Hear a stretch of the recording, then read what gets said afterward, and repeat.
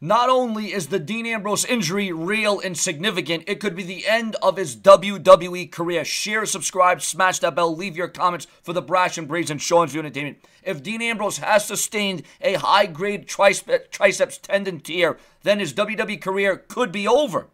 As reported by Sports MD, a torn triceps tendon is a potentially career th- threatening injury which requires prompt surgical repair and significant rehab. As reported by Health Pages, a torn tricep tendon can take up to nine months to heal properly. It would seem that the uh, best case scenario for Ambrose is that he'll be out of action for around nine months. Uh, that would, of course, mean that Ambrose will miss the 2018 Royal Rumble, WrestleMania, and perhaps even SummerSlam. If, however, Ambrose just had a minor um, if it's if it's a little bit as not not as serious as we're thinking it, and we're hoping it's not, but I mean this is still a career-threatening injury. We can't take away from the situation and, and how severe it is.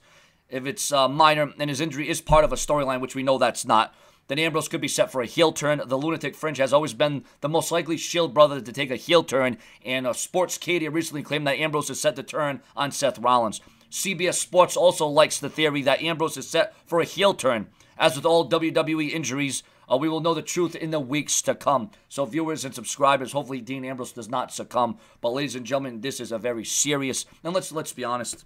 Let, let, let's call a spade a spade here. 2017 has been a horrible, horrendous, god awful year. It has been filled with tragedies and travesties and controversies and breakups and mishaps and um, miscalculations and depression and anxiety. All that's been for me. Um, but in the WWE, let's be honest, it hasn't been that great of a year. Um, it could have been a heck of a lot better. There's been a lot more years that I could went back on and say, oh well, you know that was watchable.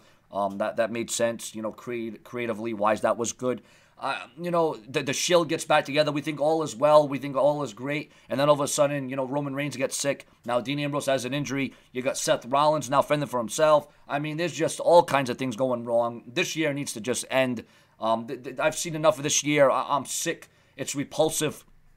It's, it's it's it's it's damn near criminal how bad 2017 has been. But ladies and gentlemen, your comments and your opinions. And do you think Dean Ambrose's uh, injury is career threatening? According to Sports MD, if it's as bad as it is, and if the surgery doesn't go right, Dean Ambrose's WWE career could potentially be over. Your comments, your opinions, share and subscribe. More to come. Stay tuned for the Brash and Brazen Sean's View Entertainment.